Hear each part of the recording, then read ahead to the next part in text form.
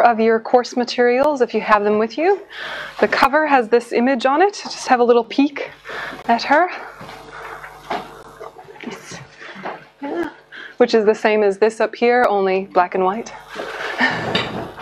okay, so um, because this is the, the time of day of tiredness, yes, this is the time of day where sometimes we hit a little bit of a, right?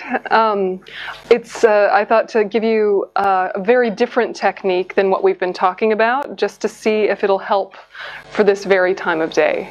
Um, so we're going to do just a really simple visualization and mantra to do with Tara. Tara is the Buddha on the cover of your packet. And so, for those of you that aren't Buddhist um, or aren't as used to the whole concept of deities and mantras, I'll just give you some context so you're not freaked out. Um, the idea is, is that with all of these, all of this iconography, all of these Buddhas and Bodhisattvas that we talk about, there's several levels of meaning. Okay, so there's kind of like the folk story of this particular deity, Tara. There's the um, Tara-ness in our teachers and in ourselves that we're trying to develop and awaken. There's also um, the qualities that this particular Buddha embodies, which are more like archetypal. Right? Do you know what I mean when I say archetypes? So there's there's many levels of meaning that we're talking about with Buddhist Tantra, and when we're um, doing meditations to do with these images, we're using a different part of our brain and we're kind of connecting with something that is a little bit less conceptual, a little bit more um, experiential. So if you look at what she looks like, she has one foot out. She's not sitting in that traditional meditation posture. She has one foot out. And the reason she has one foot out is it's indicating that sometimes the enlightened mind has to be ready to jump up and take action. Yeah? She has one foot drawn in, shown sometimes you need to subdue your attachment. She's feminine because feminine represents wisdom. So, uh, all of the interesting thing about Buddhist iconography is that you're connecting with different aspects of yourself, essentially, right? We all have feminine aspects and masculine aspects. Um, we all have aspects that are more quiet and peaceful and aspects that are more fiery. And if we can bring this kind of enlightened mind to all of it, then we're going to be happier and of more benefit. So if we have like an external representation of this energy that we want to connect with, it can give you a bit of a boost. So you could think, um, if you are someone who identifies as Buddhist, you could think that all of the enlightened energy of all the Buddhas and the Bodhisattvas takes this form. It could take any number of forms. It could take many forms. It could take the form of the Virgin Mary. It could take the form of your cat right? It's, it's just a form, don't get lost in form. But if you decide to connect with this form, there are certain elements that are helpful, like the, just that simple image of one leg out, ready to jump to the aid. Connecting with that, it does something internally with you. So the visualization before we even do it is to imagine her at the crown of your head. Yeah? Facing the same direction as you, radiating green light and that green light kind of flows down into you, giving you some boost and some energy. And if you are not at all religious, totally secular, think this is a bit woo woo, that's totally fine. Um, it's interesting to just experiment with what color does as well. So if the form kind of triggers you, if it's a bit too far out, just think radiant green light. Because we all know that sometimes when we're in nature surrounded by green, we feel a certain way. When we're at the ocean looking at blue, we feel a certain way. Uh, different colors do have a different aspect and a different impact on our mind. It's interesting to just play with that a little bit and see what happens. So just treat it as an experiment. Don't feel like you need to do anything or believe anything. Just kind of play with it. But if you feel comfortable to have this image of Tara in green above the crown of your head, representing enlightened energy, protection, and action. Okay? And then what we'll do is just a short visualization, and then we'll add the Tara mantra to that. Again, if you don't feel comfortable, just, you know, green. green is good, right? Um, but if you do feel comfortable, you can join me in the mantra once you get the hang of it. So the mantra is Om Tare Tu Tare Ture Soha. And I'll chant it many times, and you can just join in when you feel comfortable or just listen to it or go to your happy place and think of a song on the radio, okay? So whatever you feel comfortable with. All right, so we'll just use that as our motivation for the second half of the day. so just finding a straight way to sit.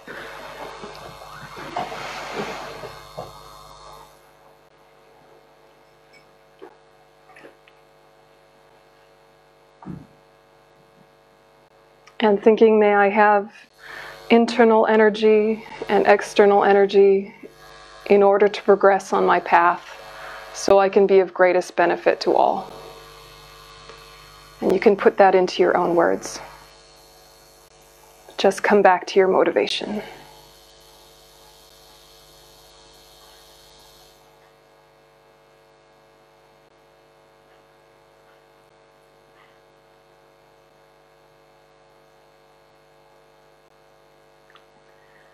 And then visualize a few inches above the crown of your head is a broad open lotus flower.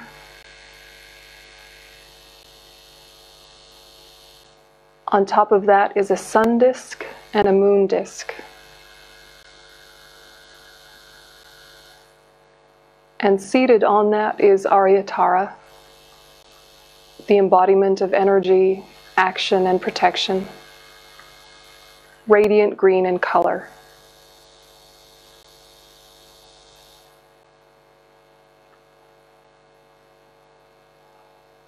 Her left foot is drawn in. Her right foot is outstretched. And she's radiant with the vibrancy of youth.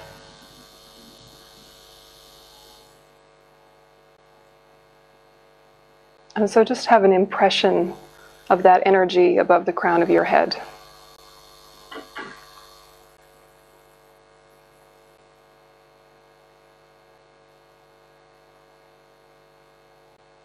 And think, may I embody these qualities and be supported by these qualities.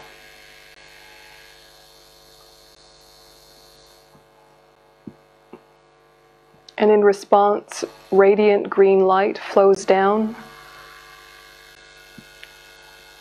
entering your body, connecting with your mind. Just be visualizing radiant green light filling you up, clearing fatigue.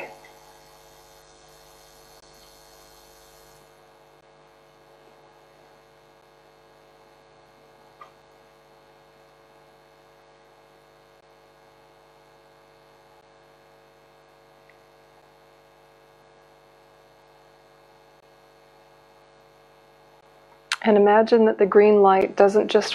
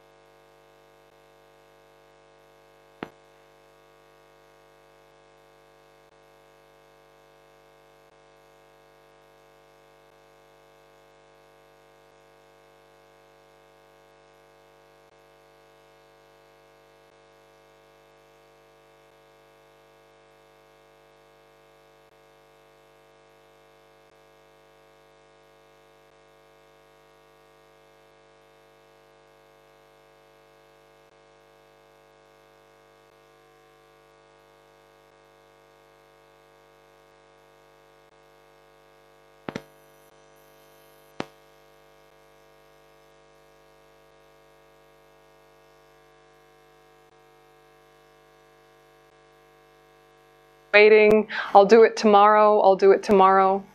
Yeah, procrastination is that putting off mind that does want to do something like spend more time with your friends, spend more time with your children, spend more time with your partner, look more deeply into philosophy, meditate more often, get some exercise, eat better. You know, it wants to, but tomorrow. Yeah, that's procrastination, right? Um, attachment is attachment to these crumbs of happiness that we were talking about last night. It's this exaggerated idea that the stuff that we do to fill in time is worth the time we give it. Like Netflix, right? Like gossip. Yeah, like excessive phone scrolling. These things that actually are a large chunk of time in the day are related to attachment because they do give us a little bit of happiness. It's not like they don't give us any, but they're the crumbs yeah, and we're satisfied with crumbs because we don't often make the effort for more. But this attached mind, you're attached to things that are lesser, which means you have no energy for things that are greater. The last one is despondency, which is like depression, but it's it's kind of like apathy as well. Do you know this word apathy? Yeah, don't care. Yeah, don't care. What is the point? What does it matter? It's all pointless yeah, what what is worth this effort? That very kind of um, sad, angry, tired. Yeah, you know the sad, angry, tired. Yeah, but added to that is also I'm bad. yeah, it's a classic. Yeah, um, so despondency.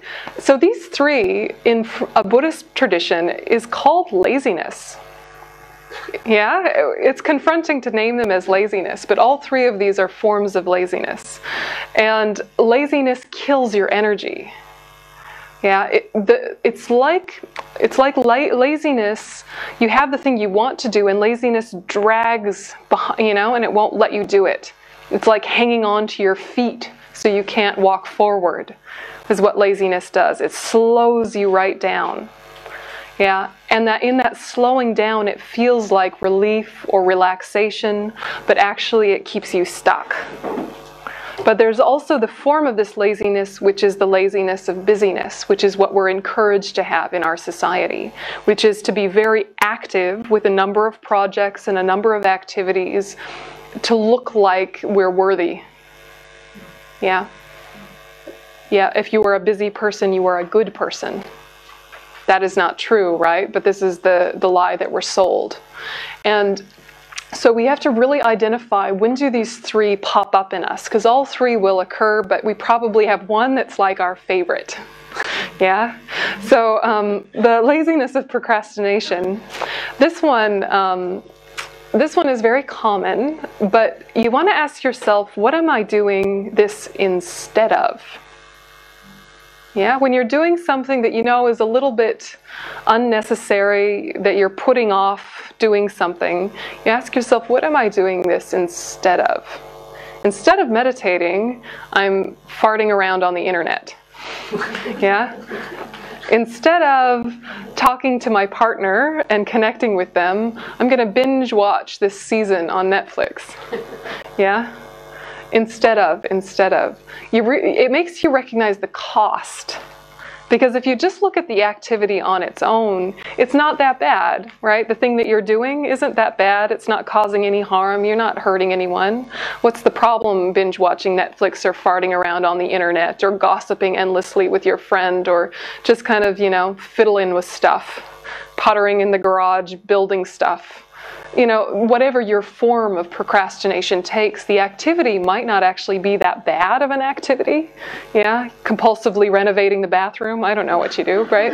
But, you know, whatever your form it takes isn't necessarily the problem. The problem is why and what are you doing it instead of? Yeah, so, so these are the questions you want to ask yourself when you notice yourself I am putting something off and I'm not even sure what it is I'm putting off, but I'm going to do this familiar activity because it's comfortable and it's comforting. Yeah, I'm not going to look at these bigger things because I know I can get a little satisfaction if I keep doing this same old thing. Do you know what I mean? When you get into this headspace, I'm going to do this same old thing I do every day because it's it's good enough. Maybe I could do more with my life, maybe I could do more with my relationships, but this is a sort of something to do. Let's do that. Um, and so sometimes before you get on a roll with one of these activities, to just sit for a while and be bored. Yeah, because we're not used to being bored so much anymore. Yeah, we used to sometimes get bored on public transportation if we forgot the newspaper. Yeah, but then you might look around and think about stuff. right? Now we all have our phone, right? You can always be entertained if you want to be. You can be entertained the whole time. So without boredom, there isn't the space for creativity sometimes. Yeah, without just some space in between, you're not asking, why did I just do that and why am I about to do this? Transitions are really powerful times. Transitions between activities, transitions between uh, sitting and standing, standing and walking, to the computer, from the computer, outdoors, indoors, any transitional period in your day where you're going between things, to just ask yourself why.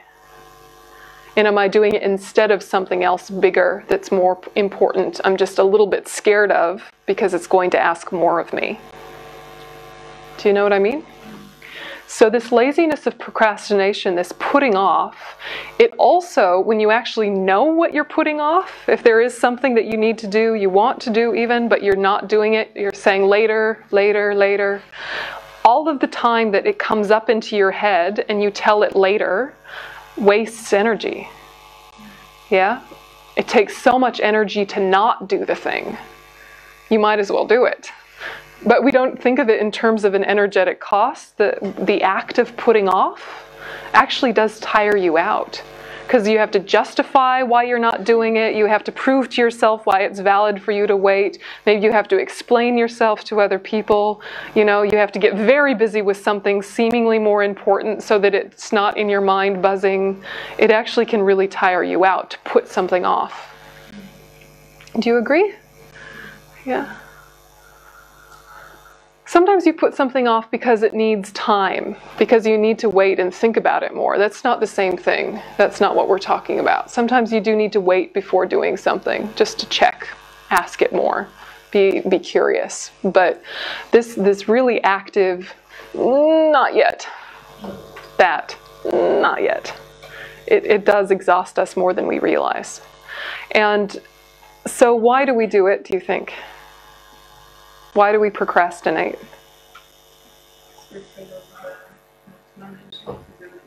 Yeah, yeah, you're afraid that once you actually start, maybe you can't do it. Yeah. Yeah. It feels a little bit good. Yeah. The moment when you're like, Yeah, it feels like a little present you gave yourself. Yeah, I'll do it later, and you're like, oh, thanks. yeah, and you have a little moment, yay, of relief. Yeah, a relief feeling. And once or twice, maybe okay, and then it becomes like a mm, tomorrow, mm, tomorrow, and then you have the anxiety of having put it off, and then the deadline is shrinking. And yeah, but you're right, it does at first feel like relief, or it feels like a kindness to yourself. Yeah. I also think it just feels like it's easier to do that than to do the other thing. Yeah. The other things take some Yeah. Yeah. Yeah, the other thing's going to take too much effort. I'll just do this tangible thing that's a little bit more obvious, you know, and then I can be tick, that is done, satisfied. Yeah. Um, and sometimes it can feel easier because the um, thing that you're putting off is more unknown. Yeah. You don't know where to start. It's, it's more difficult. Yep. Yeah, it is. It's more difficult. It's less tangible. Um, and and I think that when you're not sure how to start and you're not sure how it will end, you can say to yourself, "I'm not going to start yet," which is different than saying, "I'm not going to do it yet." Yeah, you're like, okay, so I'm not quite ready to start. What needs to come before starting? Yeah, we're not necessarily that strategic Yeah, sometimes we just wait until we're in a panic and then just do the best we can given the tiny time frame we've left ourselves. And then also we can justify it not being perfect because we didn't give ourselves enough time. Yeah, you can say, of course it's not as good as it could be because I only did it last night. Yeah, even though you knew about it for a week. Yeah, if you'd given the whole week, it could have been something more and amazing. But then if it wasn't more and amazing, what excuse do you have? Yeah, yeah. Um, I find myself uh, putting things off when there's confusion about what direction to go in. Yeah, Like, you know, what, what is most important. And, uh, not, and maybe that can be partly like a self-deception, but Yeah. but it's also real. I, I sense it's a real pro- problem sometimes. Yeah. What, what, what project is. yep, the priority. most, uh, yeah. important.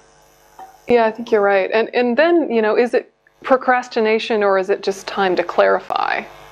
You know, because sometimes it's both, but sometimes it is you just need time to clarify your priorities, and that's fine. Um, or you need to bounce ideas off of someone. It's it's a real. Um, it's like a sensation when you've decided, mm, not yet. Do you know what- what it feels like in your head when you really know you should, you really know you can, but you're like, mm, no. yeah? That, right? Mine is obviously about seven years old, but you know, it, it's got a real, no. But I, I, the question is, is how has this interrupted some of the things in my life that could have been a lot more powerful a lot more interesting, a lot more engaging if I had given them my full attention. But because I put it off, it wasn't as good as it could be, and now I'm even more disappointed in myself. Um, what are all the things we've put off that maybe um, we can never go back to? You know, there's conversations with people that who are now dead, but we kept putting them off, and now we can never have that conversation with them. You know? What what is lost because of a habit of if it's too hard i'm going to just wait until i'm in a panic or it's no longer relevant because sometimes we get a real habit that i will just keep putting it off until i'm in a panic and do it in a frenzy or i put it off so long it no longer means anything or is important to do so it just solves itself yeah, sometimes these are in our inbox, right? I'll come back to that email, I'll come back to that email. Oh, it's too late now. Anyway, it's fine. yeah. Uh, structure to come to structure is, is some fear to have a structure. Yeah, fear of structure. Because what would structure do to you? I don't know why. then you're trapped. Are you trapped if you have a structure? Does it prison imprison you? Maybe. Yeah. Yeah, and sometimes it's like a rebellious feeling. I don't I don't want to. Don't tell me what to do. Structure even if you told yourself what to do. You're rebelling against yourself. Yeah. And often it's rebelling against ourselves. It could be that you want to meditate and then you're like, I'm not going to meditate. Like rebelliously, forgetting you were the one that told yourself to. yeah, you're like having a fight with yourself. Yeah. And then you're going to go to the store and buy healthy food this time and you go shopping and you're like, I don't know, I don't want to. I'm not going to. And you, you know, forget that you were the one that wanted to eat healthier, but you're having some sort of rebellion. Yeah, sometimes we, we it's it's fear. Sometimes it's just simple fear of what will happen if I actually try. There's less fear of I know what will happen if I half try. If I half try, something useful will come out of it, but if it's not perfect, I can forgive myself. Because I know I could do better if I gave it more effort. But I'd rather not give it more effort and be proven that I can't do more. yeah. Yeah. just um, um, one of the most common things that that come up with um, um, when I teach people in, in business to, do mindfulness stuff. Mm. You know, what if something important comes up? What should I do? Should I write it down? Or so sometimes we also need, sometimes it's, it's good to just let things go. So I guess there's also Yeah. to be really uh, clear about your priorities. Yep. Because some things we kind of want to procrastinate because they're not actually important, so we can just let them go. Yeah. Yeah. Uh, so, yeah. Yeah. And letting go feels much different than putting off. Yeah, exactly. Yeah. Because it, it wasn't important in the first place. Yeah, exactly. You realize I haven't been doing that because it didn't really need to be done. yeah, and that can be very freeing. Yeah. Isn't that almost the opposite? Yes. Yeah, yes. Yeah. It's like, okay, that's not important. Yeah. Because I was thinking also when you talked about procrastination, like, like you know, I'll start next week eating Yeah. healthier. It can also be the opposite. You know, I have to cook everything from scratch. I have to always do everything Yeah, yeah. instead of doing what you really want to do. Yeah, yeah. exactly. Exactly. You can procrastinate uh, in all sorts of different ways. and uh, you can have the opposite problem of procrastination, which is um, everything must be perfect and I have to do everything always. That's also sort of procrastination. isn't it? Yeah, yeah, maybe. Yeah, it's interesting. Our minds are very crazy. I was just going to ask about uh, like uh, the uh, perfectionistic uh, tendency, and I can feel that leads to procrastination. Absolutely. And uh, sort of making the right decision, uh, you know, focusing my energy on the perfect. Uh, Exactly. For me, um, do you have any Yeah. or references uh, to read more about that? Or, Yeah, because you're putting something off because you want it to be done perfectly. And the idea of it being done perfectly is a little intimidating. And maybe, you know, then it's just, uh, that's a little bit too ambitious or a bit too overwhelming, the perfect way I want it to be done. So I'm just going to put it off because it's a little much. Yeah, for me, it's more the form of confusion about Confusion. What, what choice to make. Yeah. From a perfectionistic angle, I think. Yeah. Do you, do you have any? Well, I mean, you have to define p- profession, perfectionistic, you know, because the motivation behind it is so key. You want to do it perfectly by whose standard for what purpose? By whose standard for what purpose? Is those good? is it a good standard, a good purpose? You know, because that's why we started with motivation with this course, right? If the purpose of your life is transformation in order to be of benefit, then your priorities readjust. Yeah, what is for the greater good? And then you have your little work project, which doesn't seem to have anything to do with the greater good in a specific way. Um, you can ask yourself more questions about it. Yeah? So, you know, the things to read are really about motivation. What is my motivation? Why do I do this? Then what to do first is easier. Yeah, because it's what's for the biggest benefit, not the biggest financial benefit or the biggest status benefit or uh, the biggest whatever worldly reason, but for the greater good. What's going to help harmony in this workplace? What's going to help collaboration in this workplace? What's going to help me challenge myself to learn a new skill? Or what's going to help me um, become more clear about where I need more training? or where I'm really, really helpful and I can even do more in that area. You know, if it's coming from that perspective, things clarify. But sometimes we don't know what to do first or what is the most important because we forgot the purpose of our life in general. And so, do I do the one that all of my coworkers need me to do first because they're panicking? Or do I do the one my boss says I should do first because he's demanding? Or do I do the one that's not going to interfere with my family life because they want me home more often? Or do I, what do I do? What do I do? Stop. Come back. What is the purpose of my life? And then what choice is going to help them enact that in the best way? So, the whole you know real problem of our existence boils down to two main difficulties which are called self-grasping and self-cherishing so self-grasping is this ignorance that we all have about reality in particular about ourself so this is really coming down to the root of cyclic existence or bad patterns negative patterns which is you think that this self this me this i is inherently existent. It seems independent. It seems self created or spontaneously created, and somehow a little bit permanent. Like there's some core of you that is unchanging.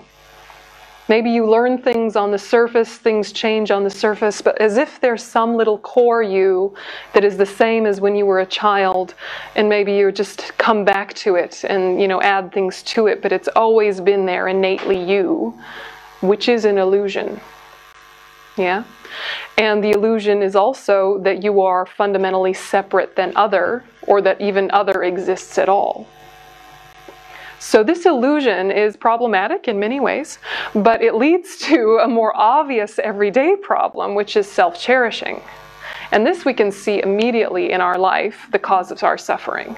Whether you understand this philosophical view about the emptiness of inherent existence and the nature of the self, putting that to one side, because of that, you have self cherishing, which sees your own needs and wants as of primary importance with indifference to others or at the expense of others. Self cherishing doesn't just look after yourself, it looks after yourself at the expense of others or with indifference to your impact on others. If you didn't have this core ignorance that thinks that you stand alone, you wouldn't have this self cherishing that thinks this self needs protection and needs support. Hmm? But because we have this self cherishing thought, we put off things that are of importance for the greater good and do things that are nice for us as an individual in the immediate. Makes us short sighted. Yeah, makes us look for instant gratification for this one only. Yeah, it's why we do bad things to the environment. Because it's just me, just today, that doesn't have any impact. It says everyone for hundreds of years, right? And then yeah, very dirty oceans, etc. Yes? So the self cherishing thought is why there is such strong identity around religion, sadly, and nationalities, and race, and gender, and sexuality, and uh, I don't know, economic status. All these identity features, which make us feel even more separate from each other, are constructs. Yeah? They are not the self. They're built on top. And the self itself is not as it seems. The self is only which has been merely labeled on its parts. It seems like there's a core. There's not a core, there's a collection of parts. Yeah? It's very subtle what the I is, but we have never met the real I. Yeah, the I that does exist, the one that does exist conventionally, is that which is merely labeled on the collection of parts or the aggregates. The one that we think we are doesn't exist at all, even nominally. That's scary, right? So take a minute and go, who is this one that needs to be happy, or who is this one that's burnt out, or who is this one? Where are they? Who is it? Is it your personality? Let's take that. Okay, let's use that. It's your personality. That's you. Where did your personality come from? Yeah? Your parents, your siblings, your conditioning, your culture, what you've read, what you've thought about, the conversations you've had. Where is the core personality that is you, essentially? Find it. Ah, it's uh, my intelligence. Ah, found it. Really? So, when you were a little baby and you couldn't speak, were you the same person? When at, at what point was your intelligence obvious and you and yours and self created or independent? Is it your sense of humor? Is it your political beliefs? Anything you start to point to as you is learned. You didn't make it. Yeah? And yet it's there. That's fine right? No problem. But because you think of it as yours, then anything that interferes with that idea is a challenge to you. And anything that helps is of benefit to you. And you immediately open the door to attachment and aversion, all built on this lie about who you think you are. Yeah? Take something like, uh, I don't know, nationality, right? You're Swedish. where are you? Where are you Swedish? what part of your genetics, what part of where you were born, what part of your blood, and you go, oh, okay, this part, this part. Who gave you that? Your parents. Yeah? You didn't make it, your parents. Who made theirs? Their parents. What if you were born over the border? Are you a different person suddenly? What about your gender? Where is your gender? Is your gender in your genitalia? Is it in there? Is that where it is? Is it in your chromosomes? Is it in your thinking? Is it in your socialization? You know, the, the man of one culture acts very differently to the man of another culture. Yeah, the spectrum of these things. And yet it feels so much, this is who I am. No, it was built. Was built.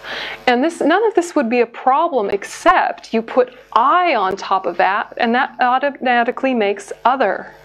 And that other better benefit you, otherwise, you're mad at that other. So, how does this make us tired?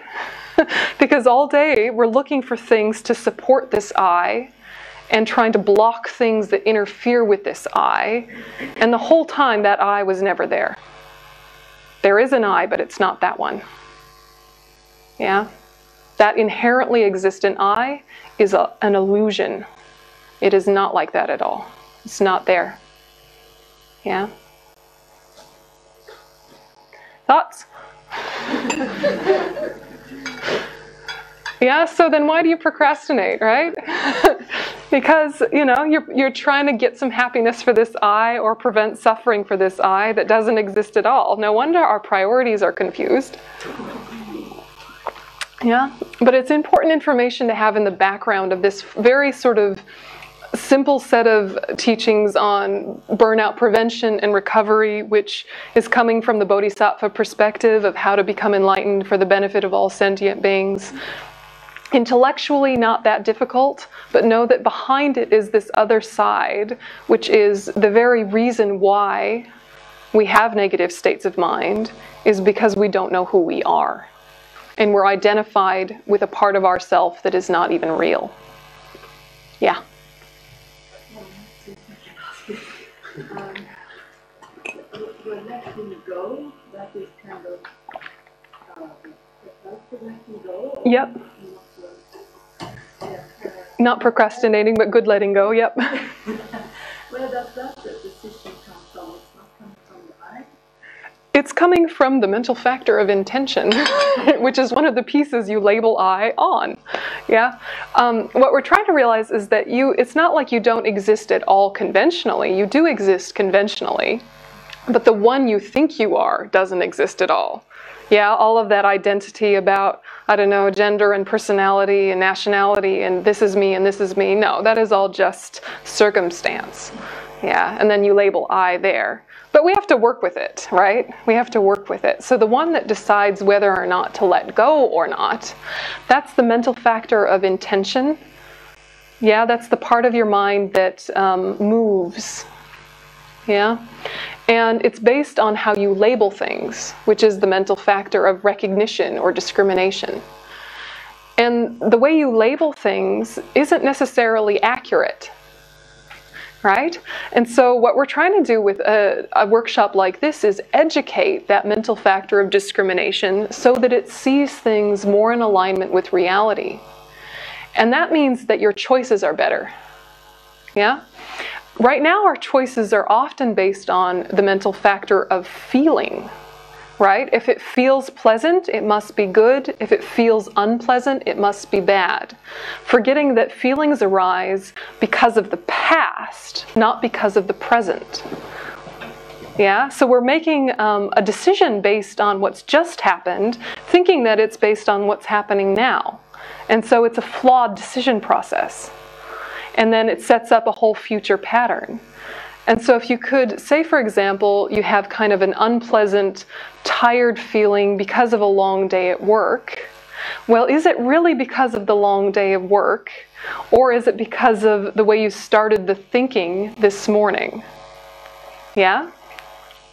Hard to say, right? Because if it was effort alone that made you uncomfortable and tired, effort alone would always make you uncomfortable and tired, but sometimes it doesn't. Sometimes that same amount of effort is no problem. Yeah? But you can come to this wrong conclusion and then make your choices about the future based on a wrong assumption about what just happened here. So letting go, letting go is asking yourself what is really happening here, not just listening to feeling, not just listening to one piece, but having the big picture in mind. What do I really want to do with this life? What do I actually think is important? And the quickest way to narrow that down is to remember death. Yeah, if you're remembering that you will die and there is no getting out of that, and it could happen anytime. Healthy people die before sick people every day. Young people die before old people every day. This is a fact. We know this, but we don't hold it present. We think we have time. But if you suddenly remember, it's possible I don't have time, your priorities recalibrate and you let go of things that aren't important. Do you think that would help if you remembered death, that you would let go of the things that aren't important? Maybe, maybe, yeah.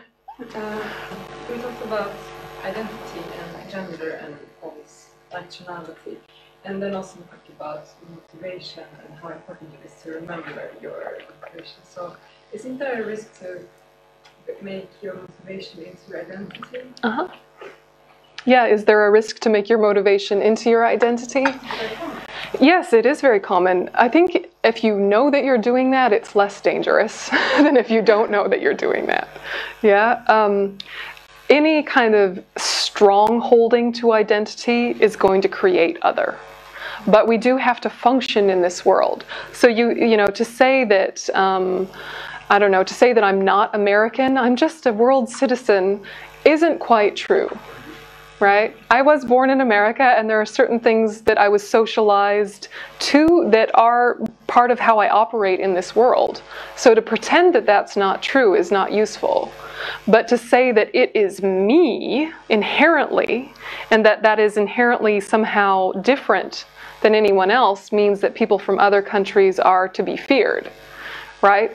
So, what we're saying is you can have identity and you can have motivation, but don't identify with your identity.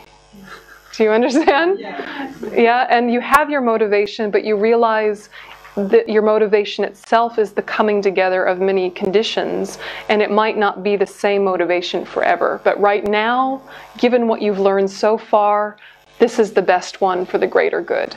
But it could be with more information and more time, you expand it to something else.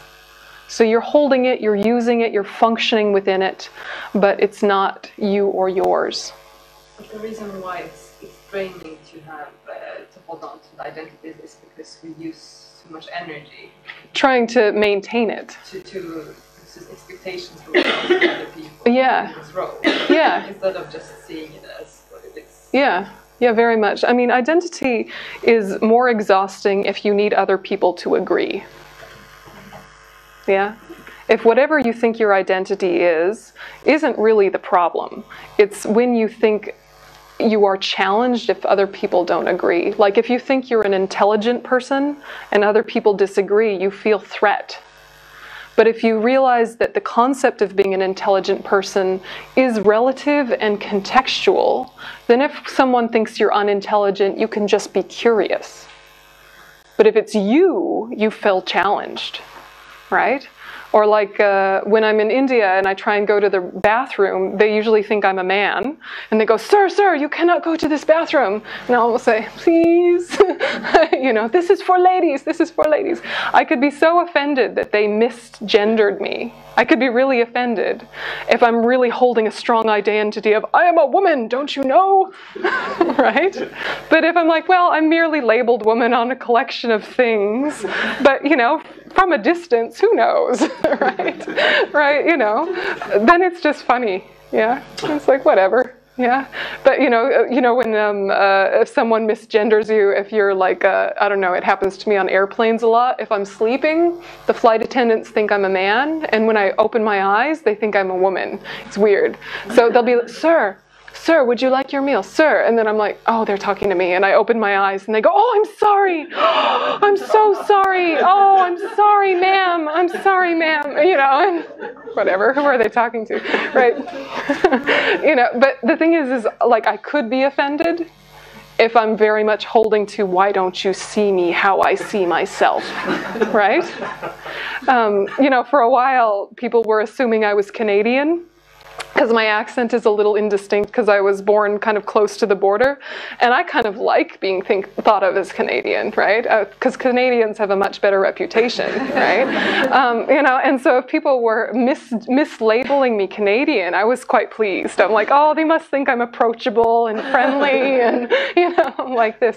But you know, as soon as um, someone says, oh, you're American, oh, you know, you know, you can take a hit. But none of that is a problem if you're holding identity lightly, which is not the same as not holding it at all. You know, it's like it's sort of like I sometimes feel like it's like a puppet. Yeah? You know, that this is just sort of something I'm operating within. This bag of bones, this set of qualities, these traits, these abilities, these deficiencies. This is just kind of what I'm operating within. Yeah, it, and given this set of things, how can I be of benefit in this world? But no part of this is mine. Yeah, this body, my parents gave me this body and everything I have ever eaten. Yeah, no, it's not mine, right? It came from others, but I'm going to use it because it's the one that's here you know right i can't use someone else's right right that would be weird and inappropriate right? right and you know it could be that um, I could think, okay, well, I have uh, a certain education level, and that that means something. But as soon as someone says, oh, that means you're really well educated, I could go, right? Or if they think, oh, you're only that educated, I could you know, it's all contextual what that means. And yet there is something there. Yeah, so it's it's not the identity so much that is the problem, it's the strong holding. Yeah, because then you're so easily wounded and so easily attached. Yeah. If you realize everything is a dependently arisen phenomena, everything comes about because of causes and conditions and parts and mind's imputation, then you can kind of relax you can let go a lot more easily because nothing is just as it seems. Nothing exists from its own side independently. Yeah. Yeah. Could you say something more about like holding your motivation lightly but still holding it? Like, what, what, what is that like? What, what, how do you do that? It works out quite well. No, no. You're. I mean, to hold your motivation lightly means that you don't have expectations with it. Yeah, so I want to become a Buddha for the benefit of all sentient beings, right? That's what I want to do. That's my motivation. But sometimes, uh, you know, what I'm actually doing that day is, you know, getting on an airplane and sitting for hours. In what way is that moving me towards enlightenment for the benefit of all sentient beings? You know, I'm sitting, I do some prayers, I read some books, I chat to the person next to me, I see what people are watching on movies, I kind of look around, go for a walk. None of that could have any meaning unless I bring meaning to it. Yeah, but if I bring too much meaning to it, like pressure meaning, then I could start to look for significance where there really doesn't have to be. Yeah, so it's kind of this middle way of in order to be of benefit to all sentient beings, I need to look after my mind. So if I start getting tense because I'm crowded in this airplane, that is not of benefit to the greater good. Yeah, if I sort of uh, snap at the flight attendant for bumping into me because I had a foot out, that's not a, for the greater good for all sentient beings. If I feel awkward next to the person next to me because they're big or they smell or they're too chatty, that's not useful but if I think, oh, I am uncomfortable, how do I work with discomfort? That'll be my project apparently for the next several hours. you know, then it's something to, that's useful. Otherwise, just something interfering. But if I feel like I have to prove something or achieve something or put too much pressure on it, then I've gone too far. So, so that's the holding it lightly. You have it, but not too much pressure. Yeah, yeah, maybe one more and then we'll stop for a cup of tea. Yeah. So holding it lightly. But then I uh, and I try, and, but then I think about the turtle. Turtle.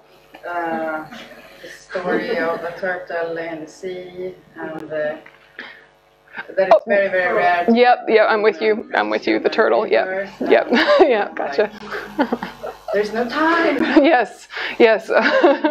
To all the expectations. Yes. It has to be fast. And, yes, and yeah, death is coming, and oh my God, and yeah, Yeah. yeah, How do I balance this? Uh, keep calm and carry on. yeah.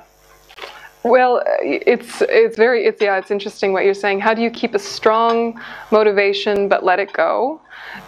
Remember that this life is so precious. The turtle story is this the quick turtle story. Um, in the Buddhist literature, they're trying to help us understand that it's actually very rare to be a human being. It's rare, right? They're like just underneath our feet, there are far more beings underneath us than there are in this room who are not human right? There's tons of ants and worms and all sorts of little insects. There's way more non humans than humans. Being a human is a big deal because you have the ability to transform and change. Um, you know, dogs can learn a few things, dolphins can learn a few things. There are smart animals out there, but are they thinking I'm going to become enlightened for the benefit of all sentient beings? Let's work on my patience today. Maybe not, right? And so the turtle story is realizing is to show how rare it is to be a human being, and the idea is that the great ocean has a little uh, yoke, which is like a wooden thing that uh, used to put, be around cows' necks who were plowing fields. Can you picture that thing that the cows had around their necks when they were dragging the plow behind them? So imagine that is floating on the sea, and there is a blind turtle at the bottom of the sea, and he comes up for air once every hundred years. The chance that that turtle will put his head through the yoke is as rare as it is to be born a human. Fun fact, right? Fun fact. So the point is not to, to you're like, what? what is this folk story? The point of this folk story is that it's rare to be human, don't waste it. That's the point. It's rare to be human, don't waste it. If we are going to live our whole life like an animal, just fulfilling pleasure and avoiding pain, we might as well be an animal because then we would cause less trouble. Yeah? If you're going to live like an animal, it would be better to have been born an animal because a human being living like an animal hurts a lot of things, destroys so much, consumes so much.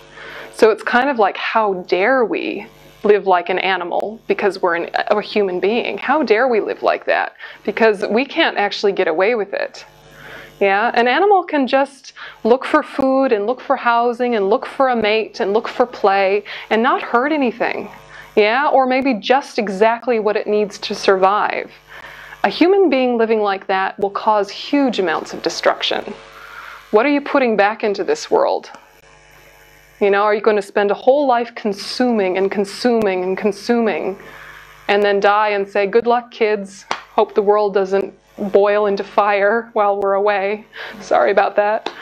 Sorry about the fossil fuels. Yeah, are we going to just consume or not?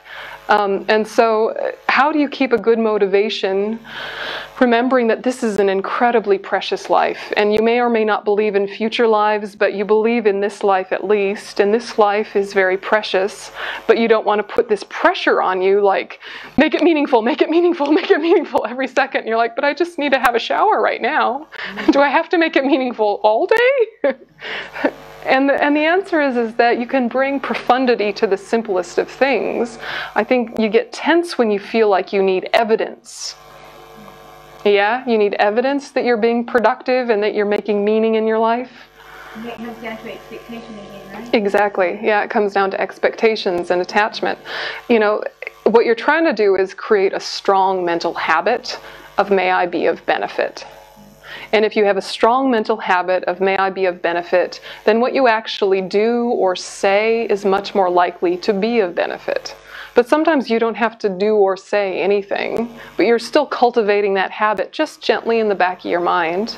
And you might, maybe all you're doing that day is having a shower. You probably have a shorter shower, right? May I be of benefit to all sentient beings. You might not just go, ah, shower, ah, you know, for hours and waste all the water, because suddenly you realize, oh, I'm not the only one who needs fresh water, you know? But if you're not thinking about this big picture, it's very easy to indulge and give your, yourself permission to just be a raw consumer without putting anything back. Do you know what I mean? Yeah, so it's not about tangible evidence, it's about an internal habit. But that strong internal habit will turn into everyday habits that are really much more kind and beneficial. Yeah. yeah. Can I have a short, stupid question? Short, stupid, yes, go. because I also um, I also sometimes fly a lot, but like through like because it is this becomes like like what is it called? Well, no, didn't Virtuous. Virtuous, maybe. Virtuous. You shouldn't do this and da da da da. For me, one part of my brain is wanting to kind of structure it as virtuous. Like, yeah. Be vegetarian, don't fly. Yeah, yeah. But I Buddhist fly so much. Oh, yeah, yeah. So that's my stupid. Oh, I know, it's crazy. So, that, so, so yeah. one part of me is like this kind of Wait, moralistic. What? Yeah, yeah. Part of me is like, aha! You fly! Hypocrite! Hypocrite! Hypocrite. I found you! Yeah. because is there any way to be perfect in samsara? You know, can you be perfect in this cyclic existence? Is there any way to live that causes no harm? If you were a perfect fallen fruit vegan Jain ascetic, still the apple falling from the tree to the ground might hit something, and you walking across the grass to get the apple, you might kill something. There is no way to live in this world without causing harm to others. It's why we want to get out of cyclic existence. That said, uh, I don't fly for holidays anymore. I only fly if I'm doing something to be of benefit.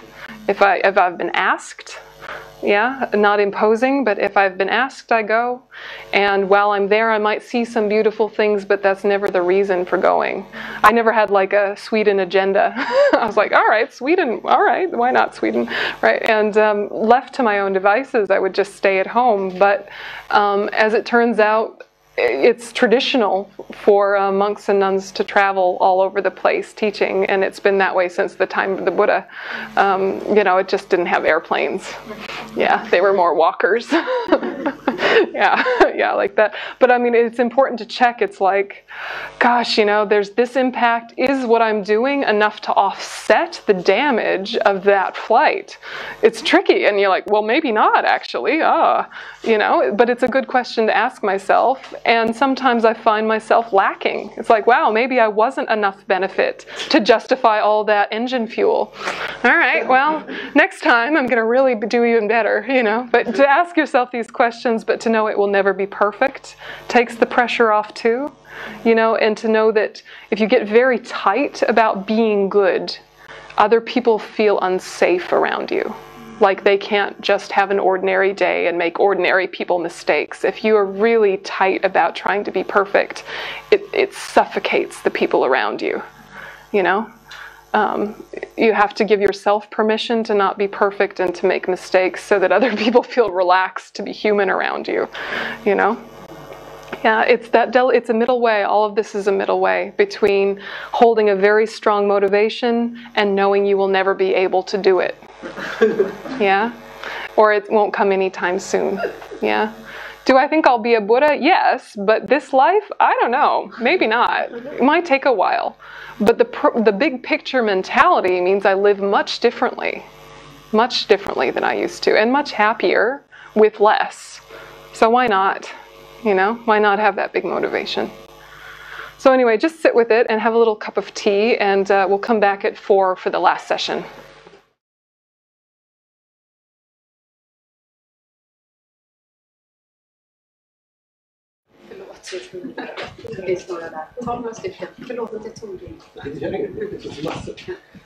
How are you guys doing with this information? Are you feeling interested? Are you feeling bored? Are you feeling sad? Are you feeling happy?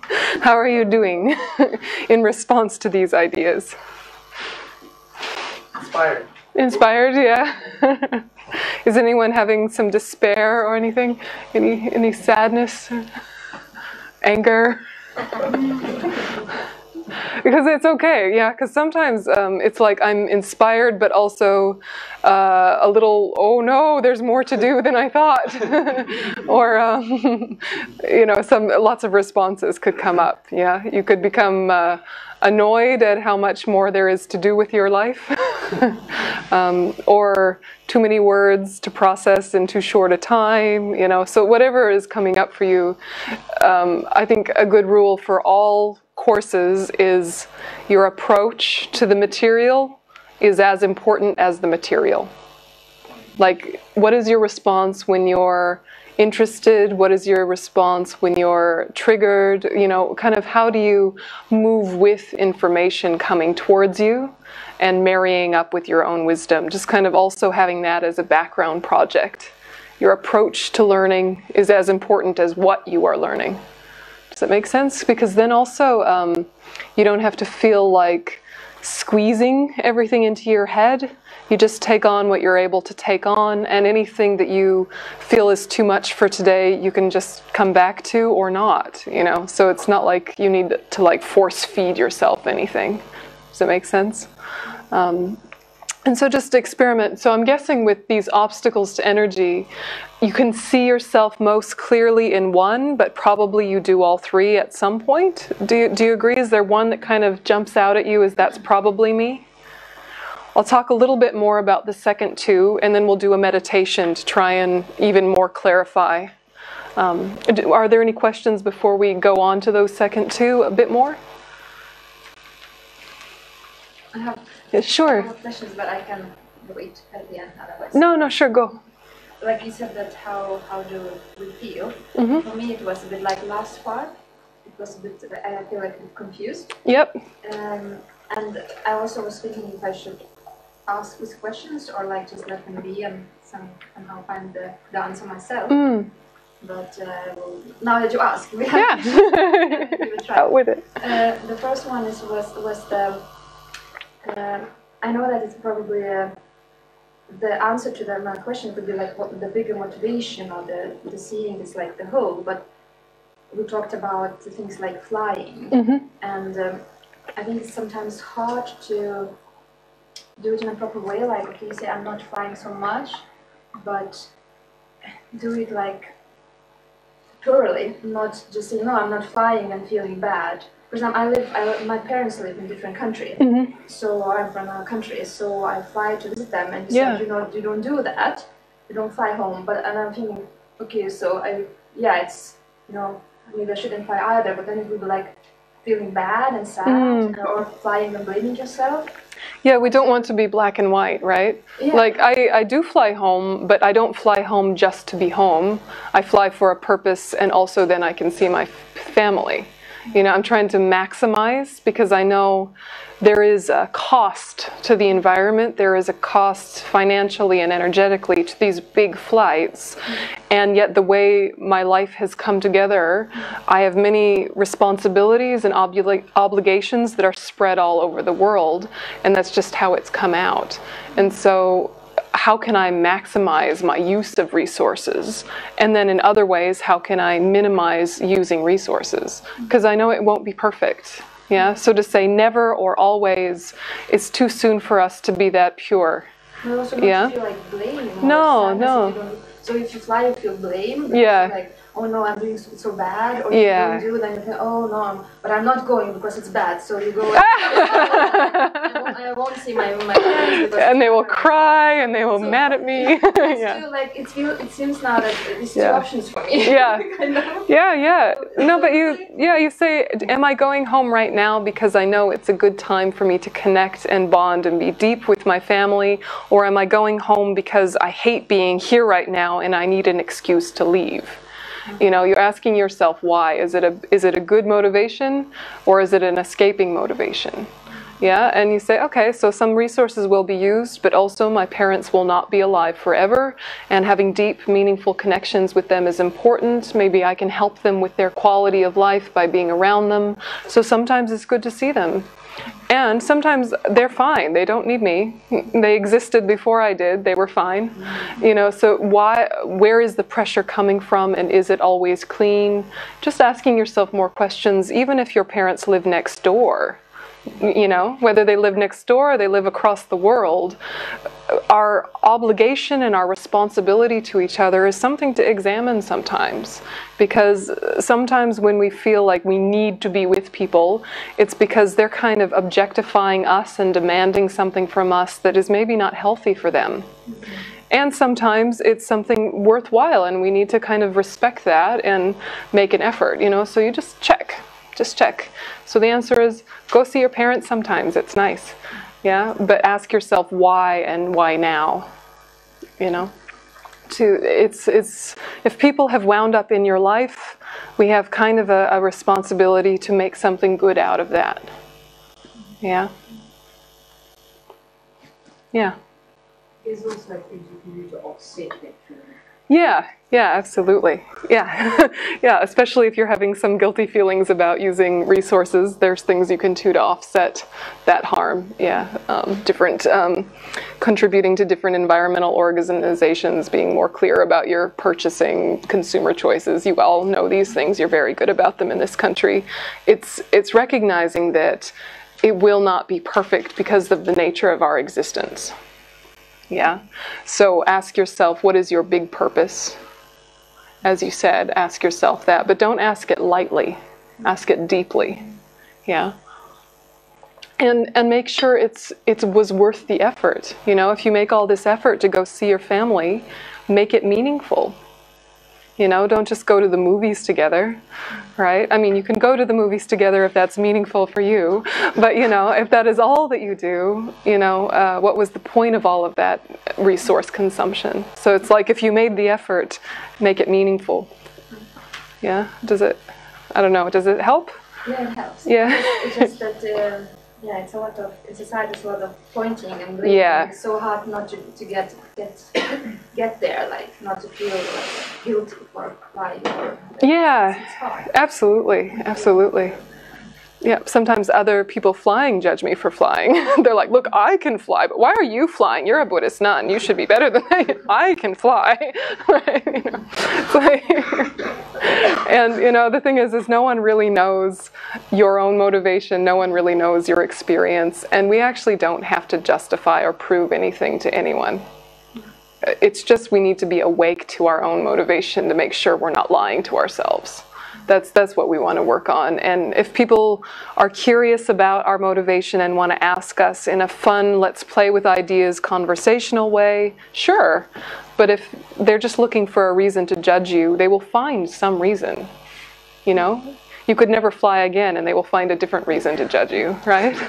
People will always find a reason yeah it's very interesting. So, um, why do people judge you? Because they're suffering, right? because they're afflicted, not necessarily because you're worthy of judgment. Yeah.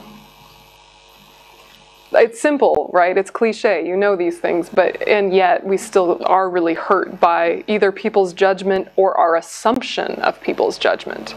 Yeah, and sometimes they weren't even thinking of us, right? They were just living their life, gave us a funny look, but actually there was something cool over there. That's why they looked that way, right? And we're like, oh, oh my God. yeah. Yeah, we can't take things so personally. Okay. So, oh yeah, sure, sure, yeah, sure. Uh, regarding procrastination, when you mentioned that uh, sometimes when we procrastinate, and it's like even you have to write an email because people maybe you won't have a uh, chance or to write it because they will die or, Mm. and I, I have thought about it before. It becomes a bit like the motivation is the fear that you won't be able to do that. Yeah, Is it, is yeah. Is it correct motivation? No, what do you think?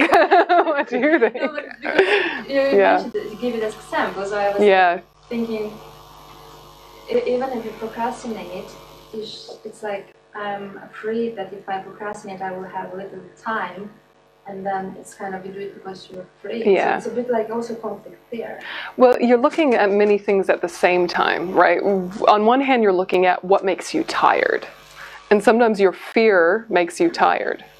Um, what are the what is the right reason to do something is your bigger motivation, but your smaller reason is if I don't do it, I will be tired and then I won't be able to do the other positive things in my life. So you don't want the main motivation to be an affliction, but it can be like a sub a sub reasoning where you know also it will help these other superficial things as well. Do you know what I mean? Many things can be true at once. Yeah. So uh, it's it's not about some kind of weird game in your head where you're pretending to be more pure than you are and saying this is my motivation but really it's coming from fear. It's about acknowledging both things can be true at the same time. There's the part of you that is wise and reasonable and rational and wants to be of benefit in this world. That part of you exists. There is also a part of you that is fear based and afflicted and worries about how people will judge you and wants validation and affection. That part of you also exists. One of them is more reasonable than the other, and uh, you can guess which one. But, uh, you know, to say that they aren't both present or both happening often, that would be exaggerating, wouldn't it? But you just consciously, and this is the meditation that we'll be about to do, is to see the two sides of yourself and consciously lift out of one and drop into the other. Yeah, uh, coming from a place of agitation will increase agitation. Coming from a place of stability will increase stability. The activity itself is not the point. Yeah, either way, you're going to wind up writing that email right? It's not about the email. It's about where did you decide to make the choice from? Because you could make the choice from either way and still get the email done. Yeah. So you're consciously choosing to come from the right place. I don't know if that does it help? Yeah. Yeah. Yeah, but then in the way you the way you answered them, it looks like that it's the fear could be the fear that could to write the email is not the right motivation. Depends. yeah, it depends. Yeah. The fear that it will be too late, I mean, you know, too late and then you will hurt someone's feelings, too late and then a good thing won't happen. You know, if it's, uh, I would want the good thing to happen, then do it from there. But if it's panic, like, I, I, I will be a bad, bad person if I don't do this thing, that's not healthy. So, you know, again, you divide that into two. Yeah so it becomes subtle, doesn't it? Mm-hmm. What is actually driving me becomes very subtle. Um, and at some point, you can say, assume your motivation is mixed. Assume your motivation is not perfect, but just gently try and move it more to the side of reasonable and compassionate, just as best as you can with your ability so far, and then let go. This is as good as I can do so far. But each time you make a little bit of effort in the healthy way, it makes it easier. Because repetition is what makes it easier. Yeah. Yeah, so your motivation won't be pure for a very long time. It doesn't need to be perfect. It's just the effort in trying to actively go that way. Hmm. Uh, this also talking maybe to this one mm. trying to keep on track. Um, an experience I had, I worked in of um, international justice, uh, war crimes and yeah. etc., uh, protecting victims and stuff in, in that area. Um, and often what I found was we were getting stuck by political um, decision makers. Yeah. In terms of us being able to do our job and get our uh, objective met in terms of looking after these people. Yeah. Um, and that was going on for a long, long time. Um, and it left me when I when I left that job. Uh, I had to leave that job, and, and it left me.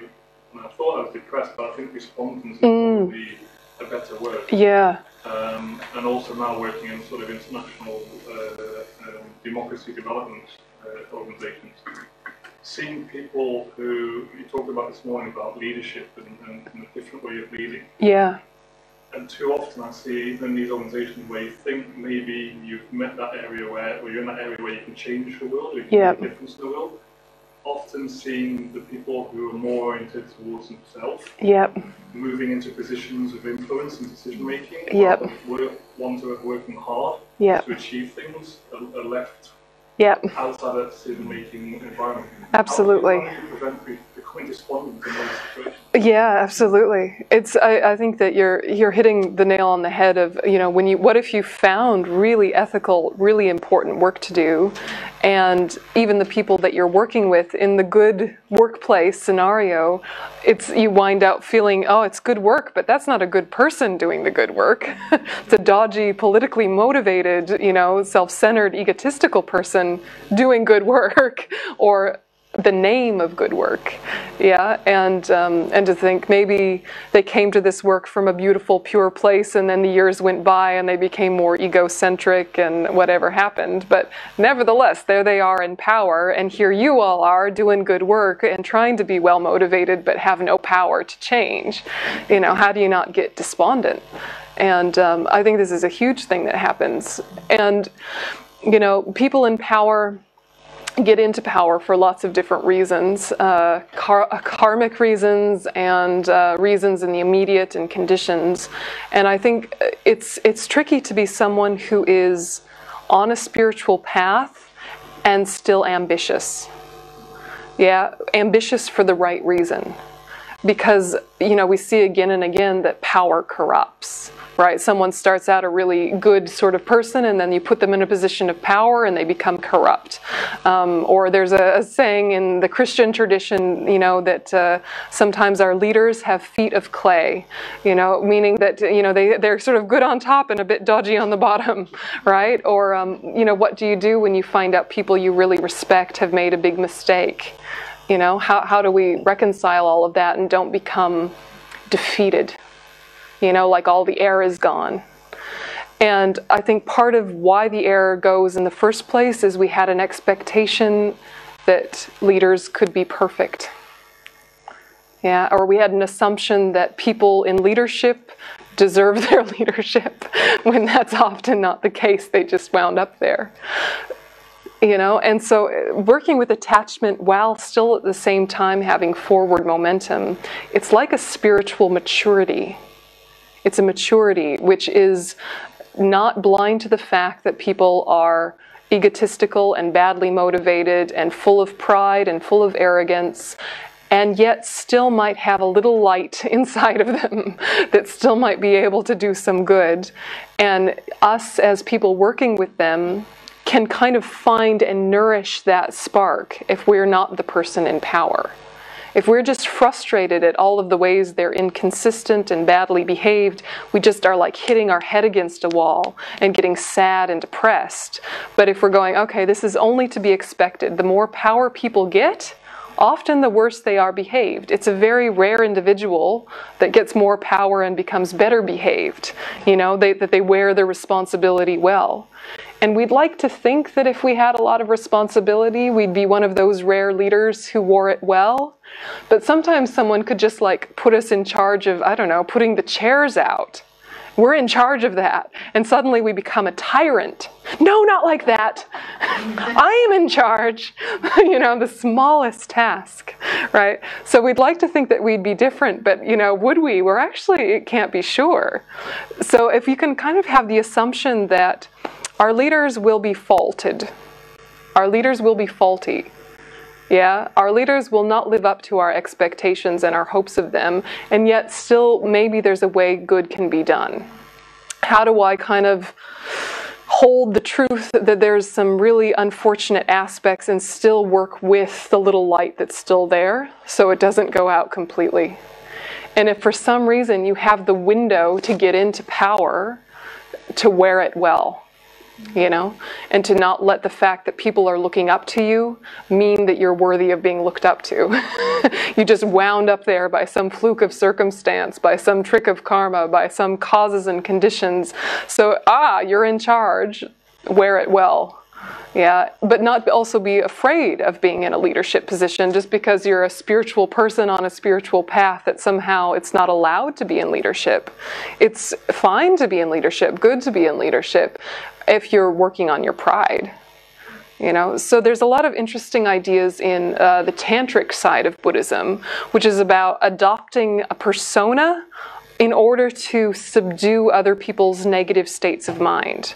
But there's a non tantric way of kind of approaching that, which is like adopting the attitude of being uh, proud and confident and assertive and big in your energy while knowing in the back of your mind that you're full of nonsense. Yeah, and, and knowing that about yourself and having a sense of humor. And if someone were to say, You're full of nonsense, you would say, I am, right? you know? And, but, and yet still kind of holding that space of, I'm going to take the role of the leader in this job. Yeah? And then just as easily, I'm going to take the role of servant in this job and just kind of trying on different hats and realizing that you can. Yeah? take on the role of leader. Why not? You actually you're in a good position to realize people who wind up with leadership don't always deserve it. Might as well give it a try, right? You won't make it worse probably, right? But the despondency it's hard to see the relationship between attachment and depression or attachment and feeling defeated or feeling deflated or despondent, but there was an expectation there that was never possible to be met. And it's seeing that clearly is so disillusioning. Yeah, and it's poignant and it's why people burn out. But if from the outset or now recalibrating, you know, starting from now, you assume people will be motivated by their afflictions, then you're not going to be surprised when they behave badly. You're going to be surprised when they behave well and happy about it. You know, it changes things. It's a healthy cynicism you know and um, it's also not like punishing towards them because of behaving badly you you assume they will yeah because how few people look into life deeply and look into their motivations deeply not many people have come across the the conditions to have a conversation like this and look at why do they do what they do you know and it's certainly not encouraged in kind of normal society and so what you know what do we expect so we can't also kind of be looking down on them for being so petty. We should be just more amazed that they ever do anything good. Yeah, we're all really badly motivated, frankly. And um, that can give you a lot of pressure relief when you realize that. Yeah, that the people you look up to will fail you. It doesn't have to make you depressed. It can just, it's more information. Yeah. If you think that uh, there's a perfect kind of person out there that you can always rely on, that's dangerous. Yeah. Like, you know, what if you were Catholic, right? And uh, ha- had a priest that you loved as a child and thought was amazing and really inspired your mind, and nothing happened to you, but then years down the track you found out they had abused one of your friends you might throw out all of the beautiful wisdom you learned from them because they did a horrible thing, forgetting that v- wisdom is owned by no one. Yeah, it wasn't their wisdom, it was wisdom that they were facilitating you to understand, right? But because it was that contaminated source, you throw the baby out with the bathwater. Lots of people do that and come to Dharma centers. but then if you start treating your lamas that way, it could be the same problem, right? Yeah. uh, I have two questions. Uh, the, uh, I can sit several hours every day, mm-hmm. just meditate and I work and Actually, I don't have time to practical things in my home. sure. Just I want to just meditate, meditate, and it goes on in several years. I can't figure out still. Uh, then I get lose the power. Ah, I got, I have to do that, and I lose the energy. Mm. But other side, I love to meditate. Sometimes I think maybe I should go to some temple, just meditate every day. I don't know. I what is going on? I don't know. What is, what is your goal of meditation? What is your goal? Because when I feel meditate, I feel alive. Mm-hmm. And, and every time I meditate, it's like something volcano is going on. Just little little uh, left, and I Are you using it as entertainment? Is your meditation your entertainment for you? Is this your form of entertainment? Entertainment. Entertainment. Like TV, like music. No. Are you playing with your chakras? Maybe, I don't know. It, it goes on like that because Yeah. I do every day. Yeah. Uh, Yeah. uh, but I feel much more alive. Yeah. I mean it sounds it sounds like beautiful things are happening, right? It sounds like interesting beautiful things are happening. You have to stop and ask yourself why do I meditate? Is it for the greater good or is it because it's very interesting for me only? Is it helping me be more open, more kind, more connected, more useful? Or is it just very nice for me only? Actually, it's both. Yeah, it's both, then go for it. go but for it. lose time for do other things. Like uh, you don't make enough money to eat properly? no, no, no. Maybe I wanna do something, but I don't do that because I don't have time. Yeah. I wanna do just meditate. That sounds okay, yeah. It sounds like my life. No, I don't know. yeah, I mean, you know, some hobbies fall away when your practice becomes stronger. That's okay. Yeah, I think, okay. You check, but sounds like fine to me. Yeah, sounds like fine to me. You're still able to feed and clothe yourself. You haven't lost all touch of reality, right? you can feed yourself. You're fine.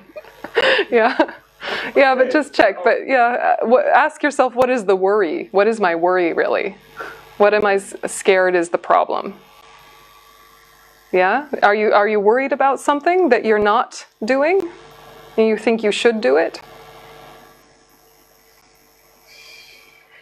For example, I wanna take a drive lessons. I don't have. Yeah. But I don't. Uh, maybe I'm lazy to do that because actually it could be very nice if I have that. hmm But I don't. I feel I don't have time. I just Yeah. do that. For example. For example, this doesn't seem like a bad priority. Yeah, I think prioritizing meditation over these lessons sounds okay. Yeah. Um, you know, be nice to the people in your life and look after yourself so you can still be fed and housed. I think it's okay life.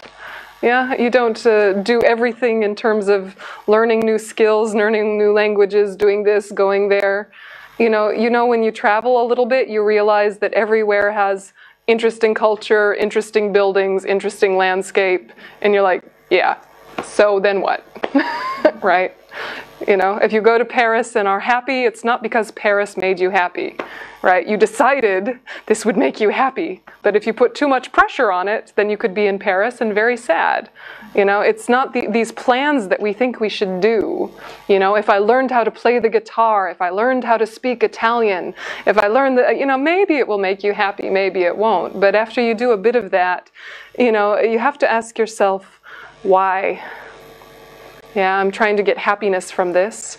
Are there quicker ways, more sustainable ways, um, ways that help more areas than just one? A little of that is fun maybe when you're young, but after a while, maybe just meditating is better. Yeah? Yeah. Vicky? maybe the act can be meditation too, right? If you use meditation with your eye, or you can be meditating while you're doing your eye as a form of meditation. You can add.